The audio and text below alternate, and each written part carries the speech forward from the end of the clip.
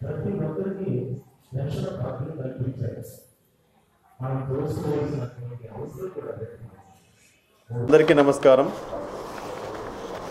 మన నెల్లూరు పట్టణంలో దర్గామిట్టలో ఉన్నటువంటి ప్రసిద్ధ రాజరాజేశ్వరి అమ్మవారి సర్వనవరాత్రి ఉత్సవాలు ఇరవై తొమ్మిది సెప్టెంబర్ నుండి ఎనిమిది అక్టోబర్ వరకు జరుగుతాయి.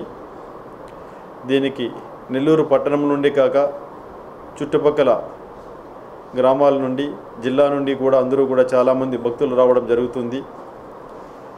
దీంట్లో వచ్చేసేసి తెల్లవారుజామున మూడు గంటల నుండి భక్తులు అమ్మవారికి ప్రదక్షిణలు చేయడం పూజలు చేయడం ఇవన్నీ కూడా జరుగుతూ ఉంటాయి. నిరంతరాయంగా రాత్రి పన్నెండు గంటల వరకు కూడా ఉంటుంది. దానికోసమని చెప్పనేసేసి మేము బందోబస్తు ఏర్పాట్లు చేయడం జరుగుతోంది.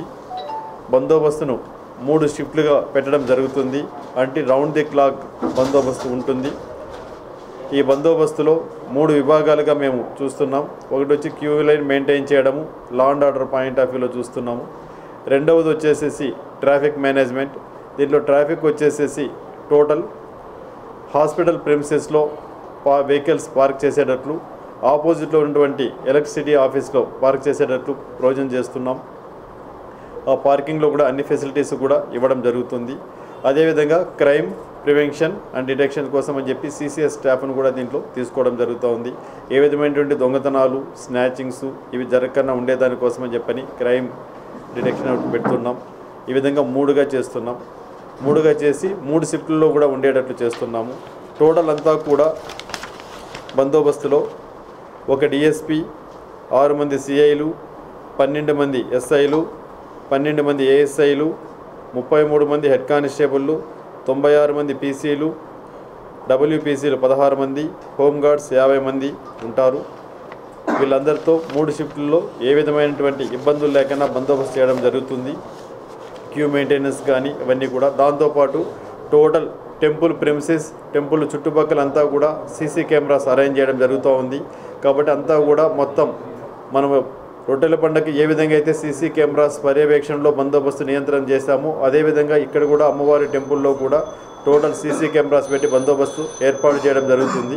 కాబట్టి భక్తులందరూ కూడా ఏ విధమైన ఇబ్బందులు లేకుండా అమ్మవారి దర్శనం చేసుకోవడానికి అన్ని ఏర్పాట్లను చేయడం జరుగుతుంది. కాబట్టి భక్తులందరూ కూడా ఈ సౌకర్యాన్ని వినియోగించుకోవాల్సిందిగా కోరుచున్నాం. భక్తులు నెల్లూరు ప్రజలకు ముఖ్యంగా విజ్ఞప్తి చేసేది ఏమంటే మీరు బంగారు ఆభరణాలను వాటిని వేసుకొని వచ్చేటప్పుడు మహిళలు ఒంటరిగా రాకుండా ఉండాలి.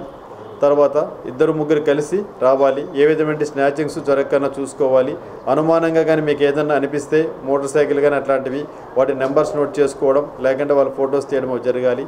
తర్వాత ప్రజలందరూ కూడా ఇప్పుడు దసరా ఫెస్టివల్ వస్తుంది కాబట్టి దీంట్లో అందరూ కూడా ఇండ్లకు తాళాలు వేసి వాళ్ళు వేరే ఊర్లకు కానీ లేకుంటే బంధువుల దగ్గర కానీ పోవడం జరుగుతూ ఉంటుంది.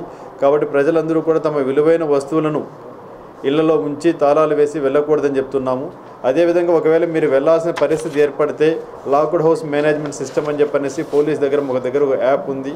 ఆ యాప్ను మీరు ఉపయోగించుకొని మీ ఇండ్లు ఎవరైతే తాళం వేసి వెళ్తున్నారో వాళ్ళు కానీ మా కంట్రోల్ రూమ్ కానీ ఇన్ఫర్మేషన్ ఇచ్చారంటే దానిపైన మేము వాచ్ పెట్టడం జరుగుతుంది. ఏ విధమైనటువంటి దొంగతనం జరగకుండా ఉండడానికి అవకాశం ఉంటుంది. కాబట్టి ప్రజలందరూ ఈ వి- అవకాశాన్ని వినియోగించుకోవాలని కోరుతున్నాం. కాబట్టి ఎవరైనా కానీ మీరు వేరే ప్రాంతాలకు తాళాలు వేసి వెళ్ళేటట్లుంటే ఇంట్లో విలువైన వస్తువులను ఉంచకన్నా వెళ్ళాలి. ఒకవేళ ఆ విధంగా కాని పరిస్థితులు ఇంట్లో ఎవరినైనా ఒకరిని ఉంచైనా వెళ్ళాలని చెప్పి కోరుకుంటున్నాము. దయచేసి భక్తులు ఎవరూ కూడా ఒంటరిగా చీకటి ప్రదేశాలలో రాకుండా ఉండాలని చెప్పి కోరుకుంటున్నాం